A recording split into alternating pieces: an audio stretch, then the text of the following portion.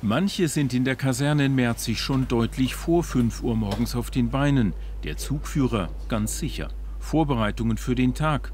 Was liegt an? Was machen die Rekruten heute? Dann wecken. Auf Bundeswehrart.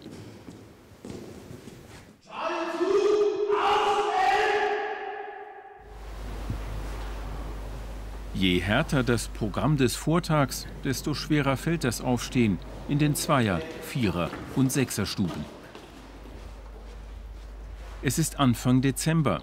Nur noch wenige Ausbildungsmodule stehen an in der dreimonatigen Grundausbildung, die für alle Soldaten der Bundeswehr gleich ist.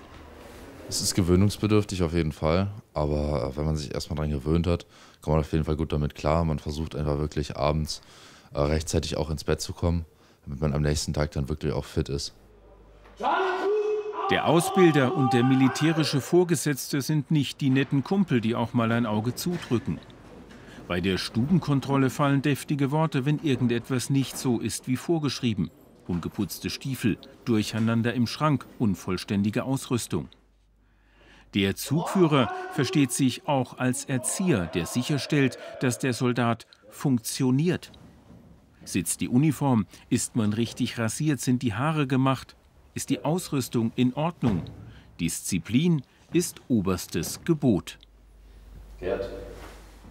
Das ist keineswegs was mit äh, Schikane zu tun, sondern äh, die Soldaten müssen halt lernen, auf ihre Ausrüstung aufzupassen, weil sie die eben im Ernstfall dann auch brauchen ja, und auch damit umgehen müssen. Wenn die Ausrüstung halt beschädigt ist, dann ist es wieder für uns äh, Verlust der Kampfkraft, weil der Soldat vielleicht äh, sein Sch oder Ausrüstung vergessen hat. Ja, da hat er draußen keinen Schlafsack. Dementsprechend äh, ist er nicht ausgeruht und kann auch dementsprechend halt eben nicht seinen Auftrag wahrnehmen.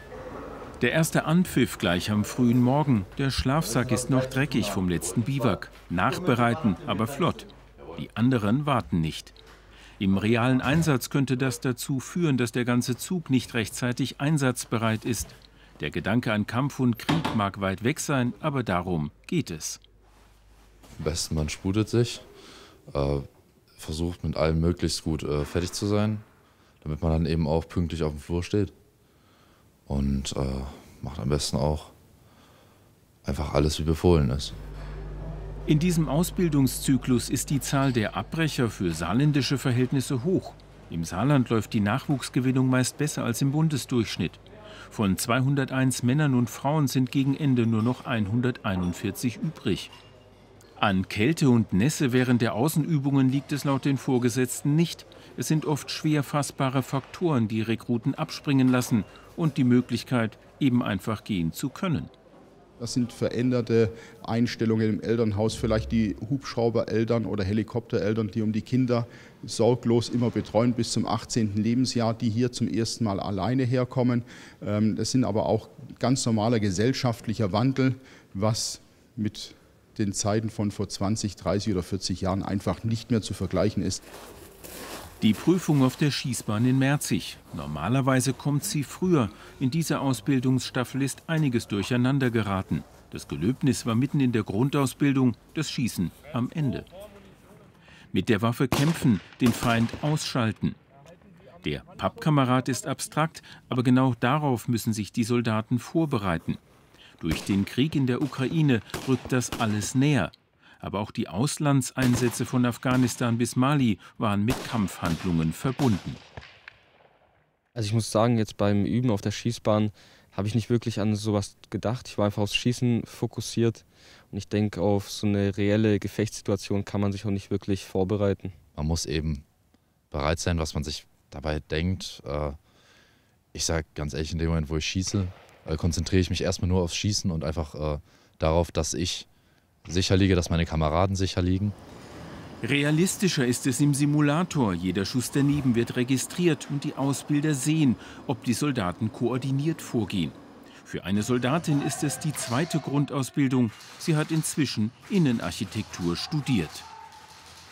Also ich glaube, der größte Unterschied ist, dass es ähm, mittlerweile eine Soldatenarbeitszeitverordnung gibt. Das heißt, ähm, es ist um 16.30 Uhr Dienstschluss. Ich denke, inzwischen hat man das sehr verinnerlicht und macht sogar zu Hause zum Beispiel jedes Mal sein Bett. Also das hat uns alle positiv verändert, denke ich. Rückblickend bin ich sehr froh darüber, dass ich das Ganze gemacht habe. Es gab viele Tiefs, aber auch sehr viele Hochs.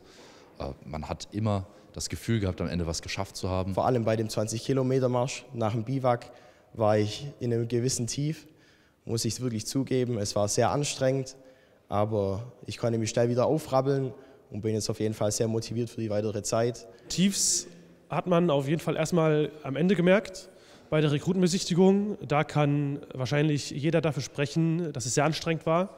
Vor allem der Nachtmarsch zurück und Höhen auf jeden Fall bestanden Abschnitte. Wenn man das Schießen besteht, freut man sich natürlich. Wenn man Sportabschnitte besteht, freut man sich natürlich. Kurz vor Weihnachten, letzter Tag in der Kaserne. Von den 141 Rekruten gehen einige zum Fallschirmjägerregiment nach Zweibrücken, ein paar zum deutsch-niederländischen Chor nach Münster, einer zu den Gebirgsjägern nach Mittenwald. Ob sie sich länger bei der Bundeswehr verpflichten, viele wissen es noch nicht.